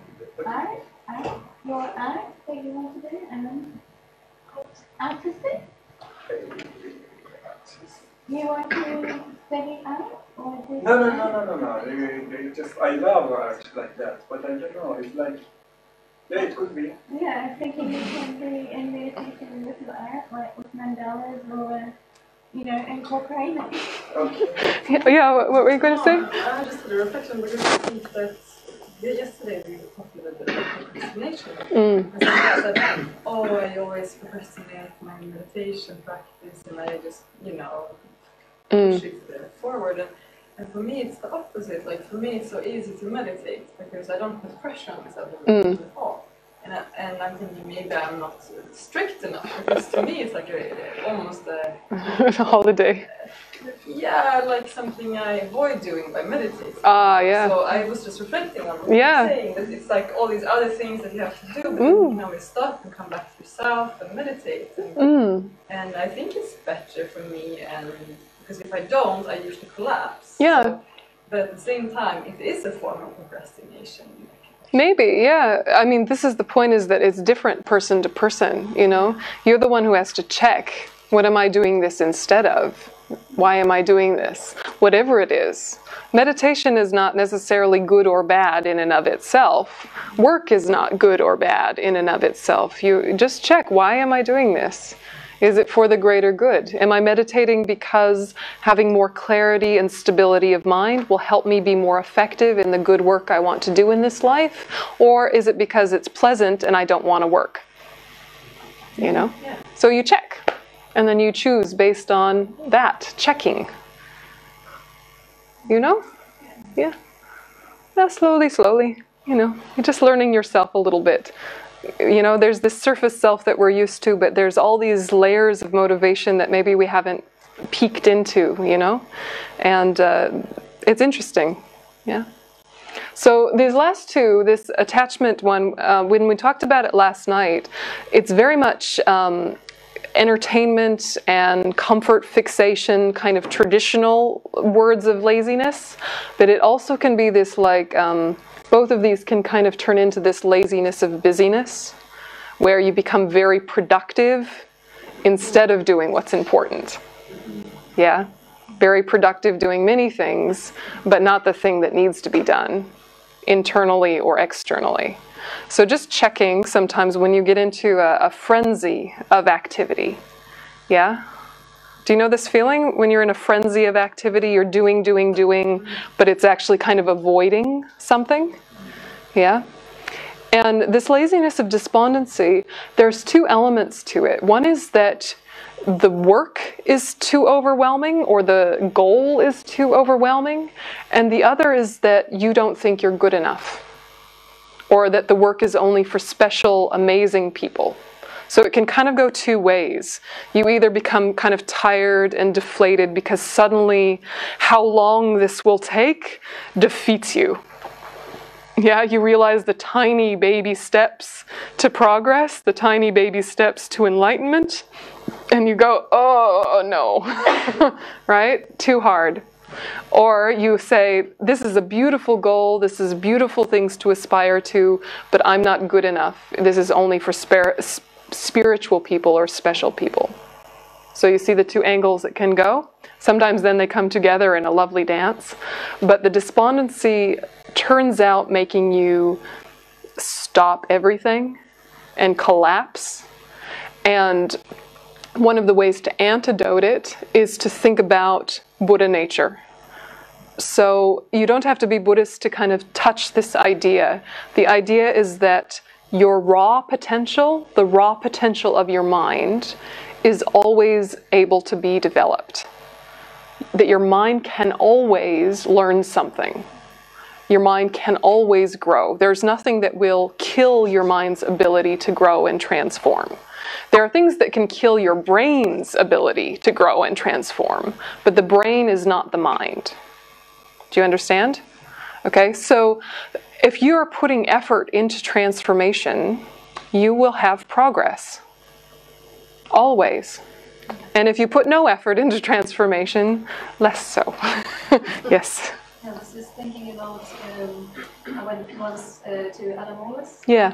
He meditation um, um, retreat. hmm And uh, he he was also saying that you know because we are so into the mode of working Yeah. all of the time that it's like to, to go from working to meditation is such a you know a, a task of itself. Yeah. So uh, that you like if you need the rest, if you have to Yeah. sleep or you know, then allow yourself to do that. So Mm. you know, and just be friendly. Yeah, yeah, absolutely. Friendly with accurate labeling, right? So when you're sleeping, call it sleeping. Don't call it meditating. yeah. Yeah. Because it was kind of in, Yeah. that also that you meditate in different positions. Yeah, like yeah. lay down and things like this. But you Yeah. know, it's like if you fall asleep, okay, you probably need it. Yeah. You know? Yeah, exactly. Exactly. But but then I'm thinking that maybe you have this goal because I mean we're not necessarily coming from a tradition or, or culture where we uh, grew up uh, Yeah. steppe hills of a country watching sheeps. Yeah. By- Yeah, we have a lot you more chaos. So much to process that impact that you can, you know, yeah, not want to run the marathon like, Yeah. straight away. Like, Absolutely. No, there, there's a real skill in um, having a step before doing the big thing that you want to do, or the small version of the big thing, like meditation. To you know, like for example, when I live, I guess the only time I live a kind of a normal, conventional life, the way most people do, is when I live in Israel, because I have a little apartment and I drive to work and I teach sort of like a normal amount of time, like in a university sort of setting, and then I drive home. So that's sort of more like the way regular people are, I assume. I don't know what you do nowadays, but um, but you know, uh, other times of the year I might be at a Dharma center the whole time, or I might be traveling. But for this sort of four or five months each year, I you know have a house, I drive to work, I teach a normal length of time, and I come back. And so when I do this, my practice is a little bit different. Yeah, it's it has to become kind of the right pace and the right time. So if I come home from work and I've been teaching, you know, kind of advanced philosophy to argumentative Israeli people who I adore but are fiery, you know, and I love them very much, but they have a lot to say. Um, when I get home, I can't meditate the second I get home. When I get home, I sit down and I drink a glass of water. And that's it. Like, I don't look at anything, I don't read anything, I just sit in my chair and I drink a glass of water slowly and go, ah, that was a big day. Yeah, you know, and I've just driven through the traffic and, you know, it's a whole thing. You know what this feeling is, yeah? If I'm to sit down and immediately try and meditate, I could trigger a panic attack because I'm so upregulated from all of the sensory input to kind of tell myself I have one more thing to do could be a little bit zzz, you know? So what I, I just sit quietly and I drink a glass of water. And sometimes I just walk around the house and think, maybe I'll do some dishes. Doo, doo, doo. And I just do something physical and grounding for a little bit. Very simply, you know? And I have to work hard not to add something to entertain myself, you know? Like, don't also put on music, don't also, you know? Because also you're so stimulated that then to have less stimuli is uncomfortable for a minute, right? But just, I let myself putter around the house for, you know, 15 minutes, clean something, sit and look at something, drink some water, just do to do, you know, nothing in particular, and then I sit down and meditate. Yeah. So it's just it's about knowing that uh, there's lag time and there's adjustment periods, and uh, to kind of pace it so that you ha- you give yourself moments of relief. And we talk about this a bit tomorrow. Tomorrow is going to be about when and how to rest, so that it actually is rejuvenating, and when and how to kind of shine the light on what am I doing and why, the pacing of that. So tomorrow is much more about kind of logistics of how to put all of this into practice. But just the brief one is is that if you are tired, rest. right? If you are tired, rest.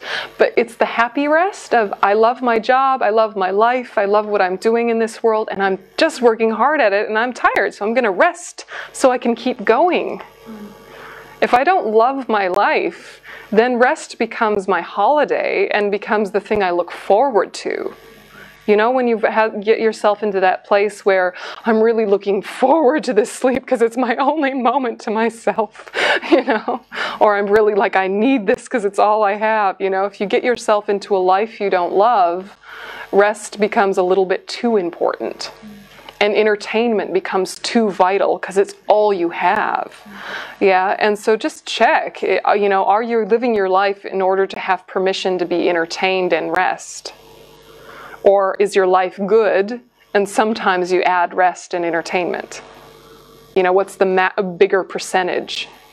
Yeah, and just checking and then adjusting. Yeah.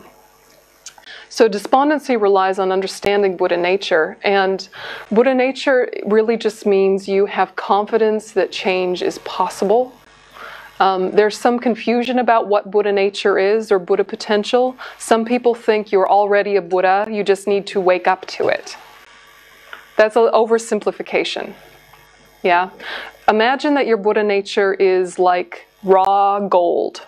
Okay? Raw gold, perfect, pure, raw gold, big chunk. Yeah, gorgeous and cannot be contaminated. And then your negative states of mind, like anger and attachment and jealousy and ignorance and all that stuff, is like dirt on the top, which is covering its purity and preventing its potential to be shaped. So you have layers and layers of kind of dirt and crud, which is not you, it's extra bits. It's extra. And with thought transformation and meditation and purification and many things, you're washing it off and washing it off and washing it off, and you come back to that pure lump of gold. And now you can shape it into something. It wasn't a perfect shape, but it was a perfect potential. Do you understand the difference? Yeah, so the mind is like that, where it has this amazing potential, but it's not a potential that's been actualized. It's not a potential that's been perfected yet. Yeah, there's your natural purity, but then there's the need for that purity to be transformed into something productive and beneficial. Yeah? So, really, what that boils down to in daily life is remembering that there are things you can do now that you didn't used to be able to do. There are ways of coping, there are types of resilience, there is knowledge that you have now that you didn't used to have, and you have it because you learned it. You learned it. It shows you you can learn and change. It seems so obvious, but we forget to remind ourselves that we have learned many things already that took some effort yeah, maybe some pain, maybe some tragedy, but we learned a thing or two in our life. Yeah, why would that ability stop now? Why? There's no need for it to stop now. Uh, we just perhaps have given less thought to it because maybe we're not in school anymore. Do you understand? So to think of love, compassion, resiliency, energy, all these things are skills like the skill of learning to drive a car or learning how to navigate the subway. These were skills that had to be learned, and in the beginning, they did not come naturally. When you first learned how to drive a car, it wasn't just natural. You had to think about this mirror and that mirror and that mirror. You had to think about probably a gear shift or this, um, you know, you had to think about what is the speed, what is the fuel, all these things. You had to think about them on purpose. You know, you had to really like think to think about them. But then you drive for a few years and you just do those things automatically. Do you know what I mean? Right? So uh, it wasn't like it was just natural, but now it's natural. The same is true with learning how to pace yourself and learning how to be happy, learning to be happy. You don't have to just naturally know how to be happy. Yeah? The things that we're taught are happiness are not. They're things that are conditions for momentary satisfaction. That's all we've been taught. Yeah, so you're learning a new thing. It's a new skill. You know, give yourself time and be, you know, interested and curious and just see what happens. Not too much pressure. So despondency happens when you think you can go faster than you can. And the problem is is that your intelligence is much faster than your integration process. You will understand things way before you can do them. Yeah. Despondency comes when you think that they happen at the same time. Yeah, when you think that understanding something should mean that you do it, and then you don't, and you're sad and think it doesn't work and give up. Yeah? When you lose faith in yourself because things aren't happening as quickly as you think they should, you don't even notice something is happening. How was I a year ago? How was I six months ago? You know, how was I before I met this one idea? You know, and checking back. And as, as time goes by and you start working on yourself, I think what your friends and family will notice is that you are kinder and happier. And but internally, you might have gone through huge change. It just doesn't necessarily show itself right on the surface. But on the surface, they will notice you are kinder and you are happier. And that's enough right? They don't have to know all of the amazing shifts and the cosmic shifts that have happened inside of you. Yeah, this is your process, but it's nice for them too. Yeah. So so managing despondency means that you're managing expectations, that you're interested in what happens next, not pushing for what happens next. And maybe even not even worried about next if you can just what's happening right now today if I bring a bigger worldview to it. Does it sort of make sense? Right? So, despondency really is like stagnation, it's like feeling stuck. Yeah, because you have no air left or no energy left. And if you've really gone deeply into it, you will just need some recovery time before you try anything new. And so, you know, rest is the thing to do if you really pushed it to full on despondency. But if you can kind of just gently, while resting, you know, be on your couch, be in a floppy position, be in your pajamas, think, do you know what? That one time I learned something. That was hard. Hmm, maybe this time I'm learning something because that was hard. what am I learning from this about the nature of the human condition? I'm not going to do anything with it. I'm not going to put any pressure on myself about it. I'm just going to go back over what am I learning from this? Yeah. Just very gently. Yeah. Yeah. Uh, any questions about that before we do the meditation? About despondency? I've got one. Sure. I've, I've come in contact with a lot of young people, well, teenagers to older teenagers other people in general. And my motivation is to try and encourage them that this life that we're part of sometimes in the systems I'm involved with doesn't have to be the all, the be all and end all. Mm. And so I try and encourage that, yeah, we can change um, the, the way that we are, the way that we're involved, the systems we're part of, maybe not right now, mm. or we can change the way that we relate to those um, program? Yeah, yeah. Am I on the right track with this, or is yeah. it like way off off cue? Well, you know, it's it's hard to know without seeing the specific circumstance, but it sounds sounds good. Sounds good. I just feel like there's a lot of young people born with so much wisdom and yeah. trust in humanness.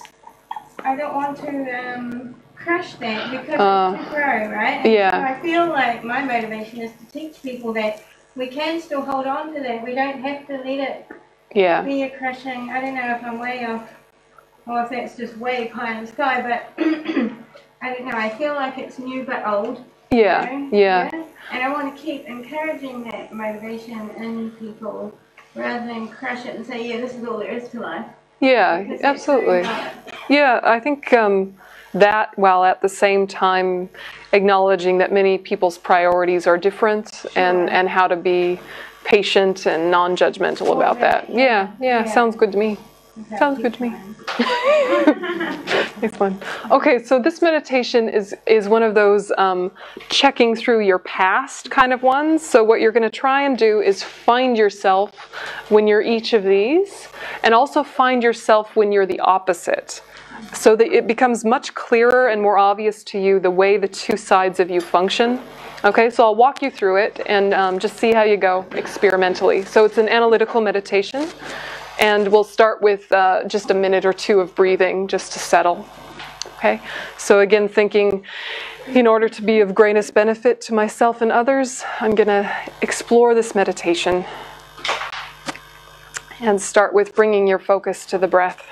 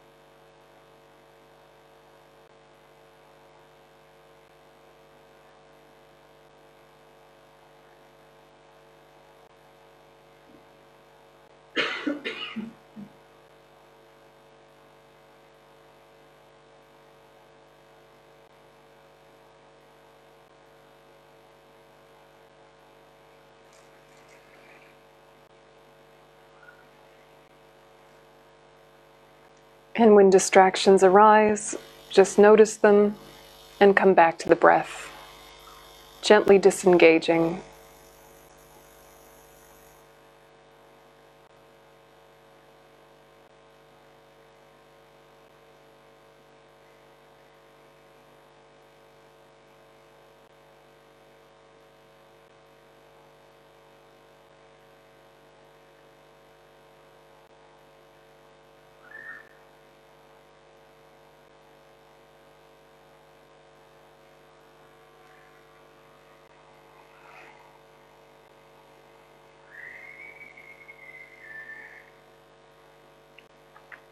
And so now think about a time in your life or a way you have of being when you're really putting off something that needs to be done.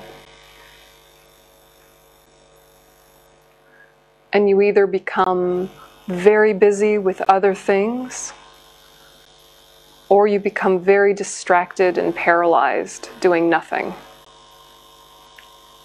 But just what are you like? When you start to procrastinate? What does it feel like in your body? What does it feel like in your mind when you're putting things off? Just look through your memory.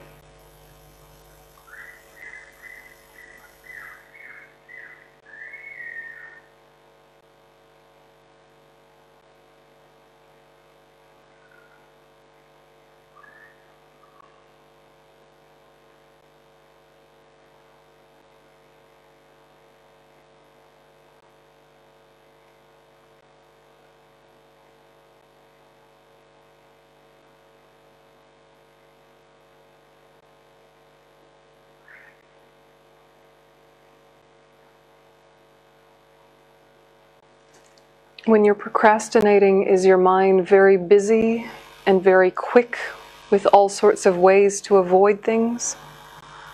Or is your mind very paralyzed and quiet and shut down, disassociated? It doesn't matter which one, just try and notice what is it like in there when you're procrastinating? How do you get?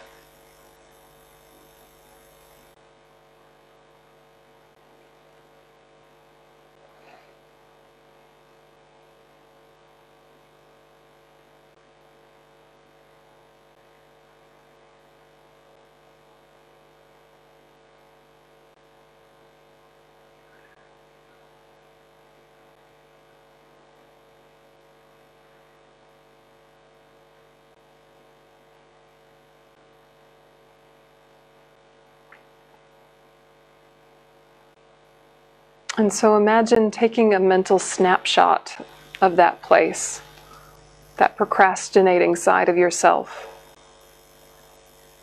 and just gently compare it to those times when you felt very efficient and energetically happy in the middle of a task, enjoying it. When maybe at first you were intimidated but then you started and got on a roll and started to enjoy yourself.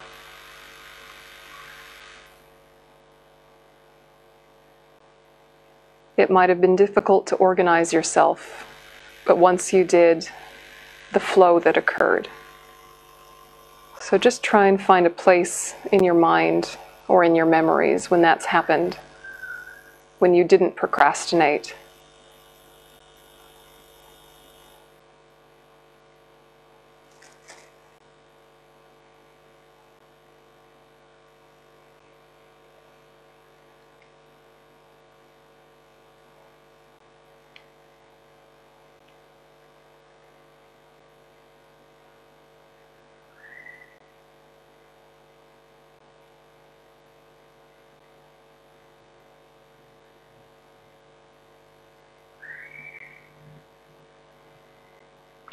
And imagine standing back from both of these snapshots and saying both of these are responses. Both of these come about through many causes and conditions. It's not good to punish myself for one or reward myself for the other. let me just very objectively ask which way is more effective? Which way am I happier?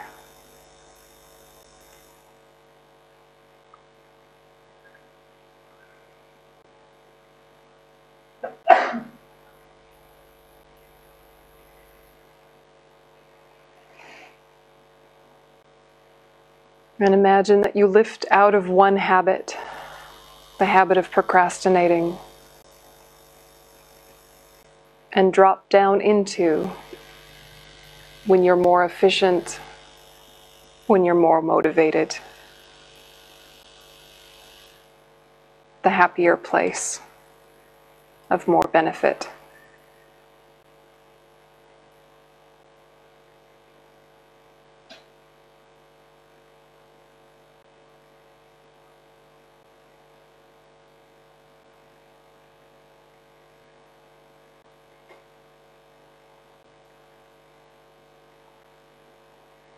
And then think about the times when you've been very attached to sensory pleasures, very attached to little entertainments and comforts. And because you were so engrossed in those things, you didn't do the big thing.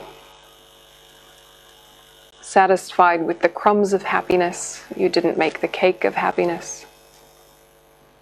Just look at when do you get the laziness of attachment?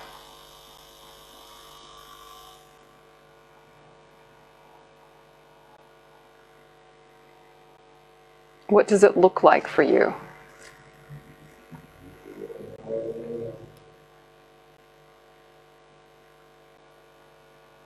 A way of collapsing, a way of binging. Just explore it.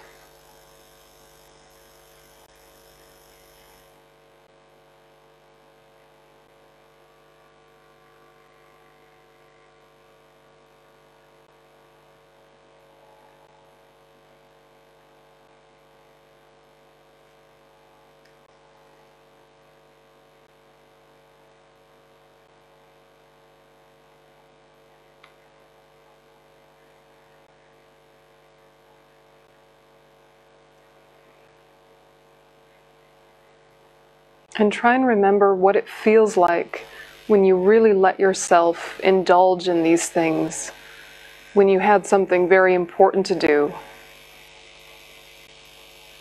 something you maybe enjoyed doing, but you didn't do it because you got lost in attachment. How do you feel when you ran out of time?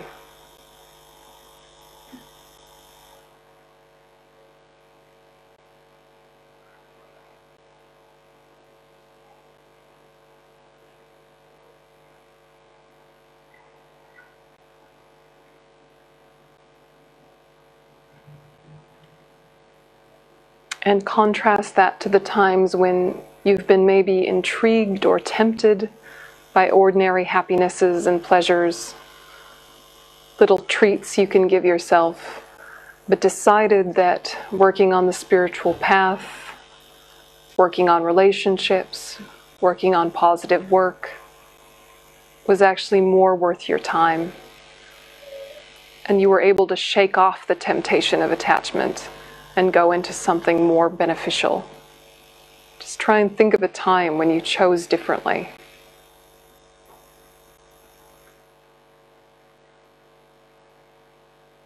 What is it like in your mind?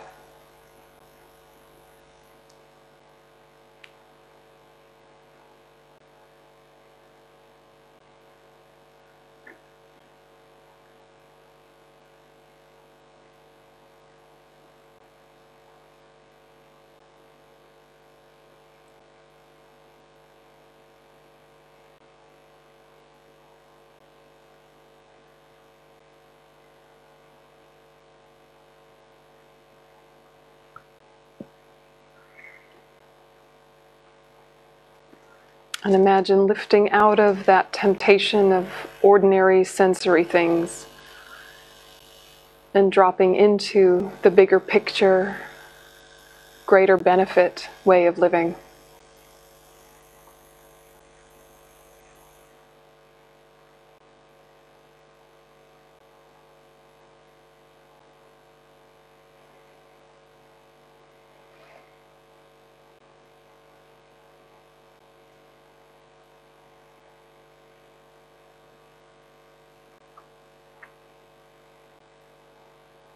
And then remember that way you get when you feel defeated and despondent because your expectations were too high. Either too much expectations of yourself or too much expectations of how quick the goal would come about. And you got despondent and sad and bitter. See if you can touch that place without falling into that place. Just remembering what it's like.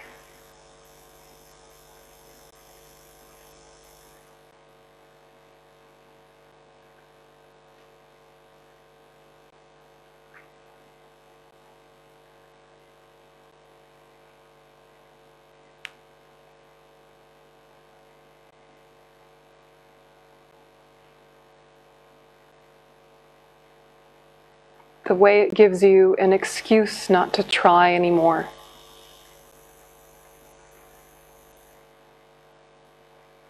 The way it makes you feel jaded and alienated. But also the way it is not true.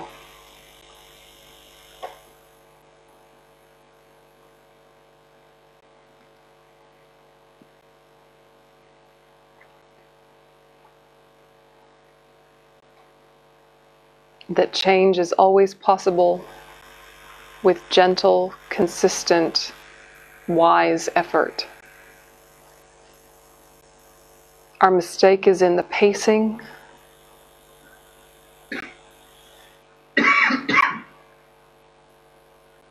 Attachment exaggerates what's possible and how fast and by whom.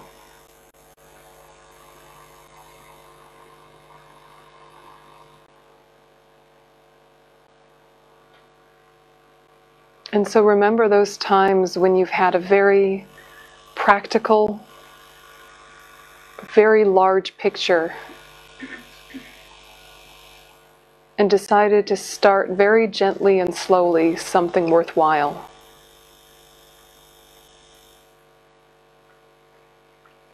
It could be as a parent helping your children learn to walk and learn to speak. You knew it would take some time but repetition and patience would get you there.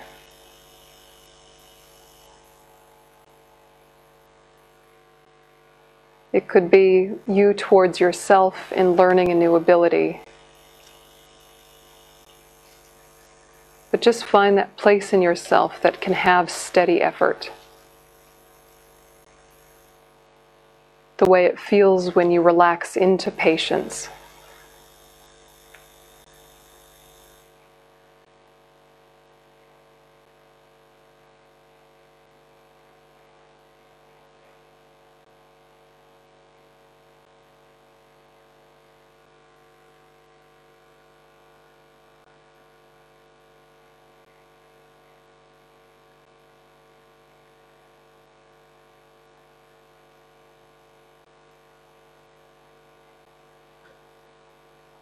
And imagine disconnecting from that despondency and dropping into the practicality of the large view, the long view. Faith in your ability to change and grow.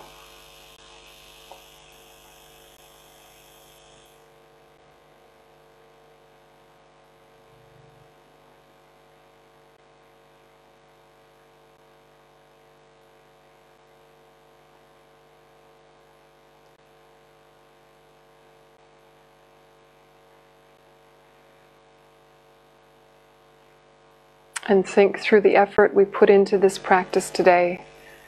May we develop joyous effort and overcome the three types of laziness in order to develop our potential to its utmost extent.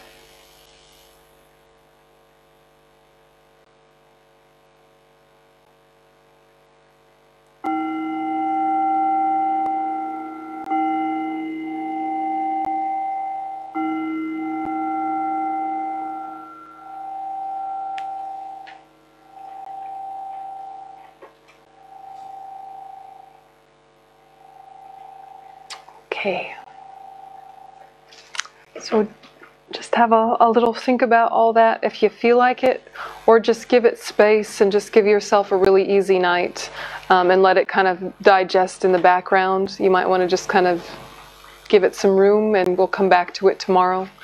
And um, we'll just quickly do the, the dedication prayers here in your um, prayer booklet.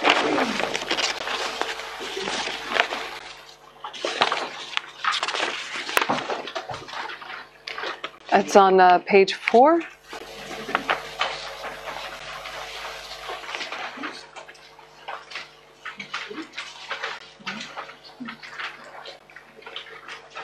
At the back on page four.